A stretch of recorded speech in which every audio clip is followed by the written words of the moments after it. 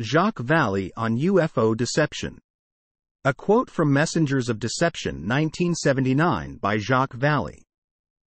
I believe there is a machinery of mass manipulation behind the UFO phenomenon. It aims at social and political goals by diverting attention from some human problems and by providing a potential release for tensions caused by others. The contactees are a part of that machinery. They are helping to create a new form of belief an expectation of actual contact among large parts of the public.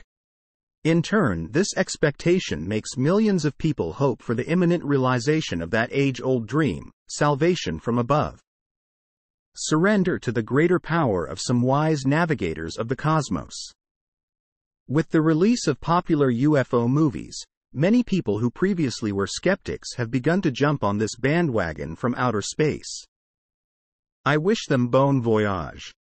However, if you take the trouble to join me in the analysis of the modern UFO myth, you will see human beings under the control of a strange force that is bending them in absurd ways, forcing them to play a role in a bizarre game of deception. This role may be very important if changing social conditions make it desirable to focus the attention of the public on the distant stars. While obsolete human institutions are wiped out and rebuilt in new ways. Are the manipulators, in the final analysis, nothing more than a group of humans who have mastered a very advanced form of power? Let me summarize my conclusions thus far UFOs are real. They are physical devices used to affect human consciousness.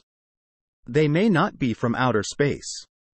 Their purpose may be to achieve social changes on this planet through a belief system that uses systematic manipulation of witnesses and contactees. Covert use of various sects and cults.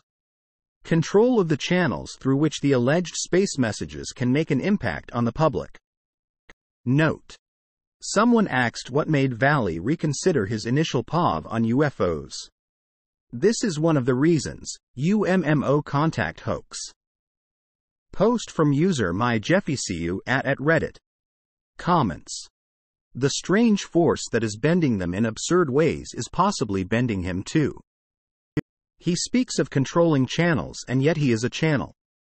Vallée's influence on ideas is immeasurable, and that includes rejecting skepticism and skeptics.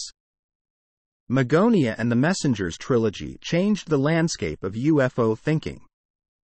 He has influenced the influencers like Hynek, Knapp, Pasulka, Dr. Eric Davis, PhD, and Nolan, and he has done it for over 50 years. The thing with Vallée is he has never been able to see his own myths. We have all got them, right? We all have belief systems with no exceptions. So, when he is analyzing the modern UFO myth, he can't see himself as the originator of a separate, powerful modern UFO myth. John Keel eventually rejected his own interdimensional beliefs because he scrutinized them and found them lacking. Vallée, in contrast, appears to think he is above beliefs and immune to the omnipotent and omniscient control system that, he argues, changes the tides of humanity. Comment from user Send me your tulips at at Reddit.